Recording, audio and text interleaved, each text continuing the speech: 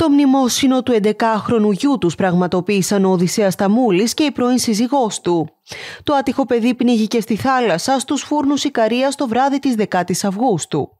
Το μεσημέρι της Κυριακής, συγγενείς, φίλοι και συνάδελφοι του ηθοποιού συμπαραστάθηκαν στην οικογένεια με τον ηθοποιό στα πλάνα που κυκλοφόρησαν να είναι συντετριμένος, μην μπορώντας να συγκρατήσει τα δάκρυα και τη θλίψη του για τον τραγικό χαμό του παιδιού του.